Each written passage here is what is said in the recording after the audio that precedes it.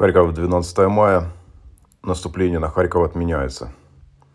Сейчас на линии столкновения идут ожесточенные бои. Местных жителей сейчас эвакуируют.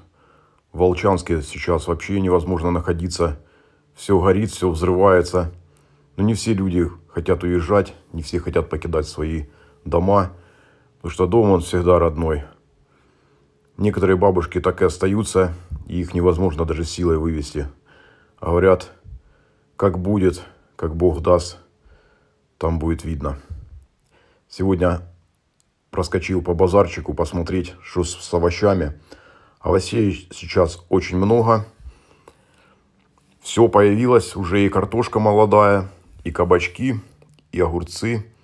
Цены, конечно, дороговатые. Помидоры по 150, огурцы по 60, кабачки по 70, картоха молодая по 70. Конечно, дороговато, но хочется чего-то свеженького, молодого. Поэтому люди потихоньку ходят и скуповываются. Мы тоже зашли, взяли немножко огурчиков и небольшую головку молодой капусты. Плати, Саш. Картофля молодая, а что платить? Ты, ты заказываешь, ты и плати. Потом в одном месте мне попались прилавки с мясом. Женщина стоит, махает, мух отгоняет. Мух кружит целый рой. На улице сейчас днем бывает плюс 20.